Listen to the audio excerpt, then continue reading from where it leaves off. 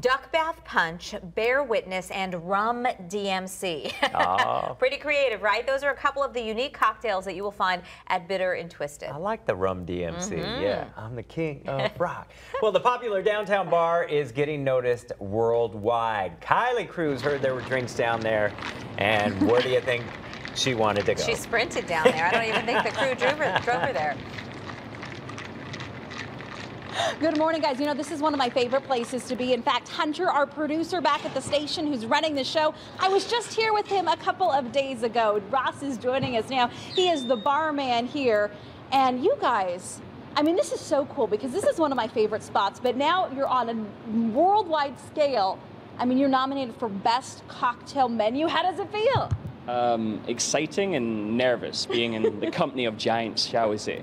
Giants, you know, New York, London, all of that. So we're going to take the next few minutes and tell you what makes this place so unique and what do you think it is that, you know, makes you guys a little bit different than some of the other places you can grab drinks in town? Well, I think, you know, going by the cocktails and the garnishes and all that kind of thing, I, I think it's just keeping it fun.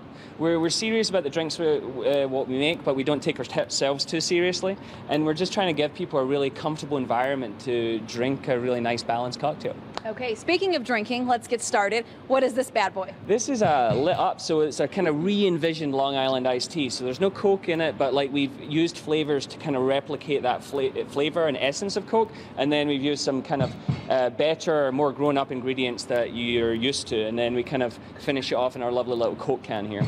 Oh, we like that. So you put up, and this is how you serve it in this Coke can? Yeah, so we carbonate it. That's why it's so fizzy. So we put all the ingredients in, and then we carbonate it, and then uh, yeah, just save it up with uh, kind of, once again, really fun. Tell me about some of the other drinks because you have some. I mean, if you look at these drinks, they're all so unique. Yeah, like uh, in the teacup here, we have the uh, clarified milk punch. So basically, that takes a couple of days to make. So we actually it starts off cloudy and not clear, and after the clarification, it actually uh, turns clear like that. And we've got a lovely hand carved ice cube. Uh, we've got a rum DMC with a passion fruit foam and uh, wonderful rum flavors going on. My, one of my favorites, the Bear Witness, uh, yuzu marmalade, kikori Japanese style whiskey, a little Laphroaig, and um, lemon and grapefruit juice. Um, something refreshing for every day. I Love that, and you need that. yeah, like every day, it's like no seasonality. It's just like warm all the time.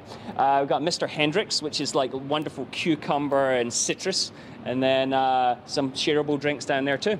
Speaking of shareable drinks, I've got somebody that I could actually share a cocktail with, and he's kind of a big deal in town. Yeah, the mayor, Mayor Greg Stanton, joining us now. Mayor, you know, Ross was saying the mayor's coming, and I thought you were coming for happy hour or something, but you literally are here uh, to say hello. 8.30 on a Friday morning, I get to hang out the best cocktail parlor in the world. I got a great job.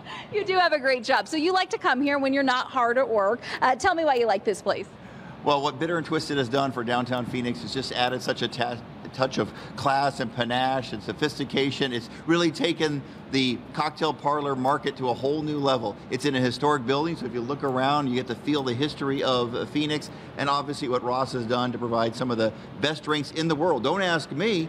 Uh, they just got nominated for one, being one of the top 10 high volume cocktail parlors in the world right here in downtown Phoenix. So he's really bringing prestige to Phoenix, and I wanted to come down and say thank you. Okay, Mayor, I'm going to ask you to do something before we go. I always know you're up for a, for a challenge. This probably is the most interesting request from the media because you get a lot of requests. Can we share this drink? It's a virgin cocktail, so we're both okay to take a little sip. Is that cool? Why not? Let's do it. I'm here.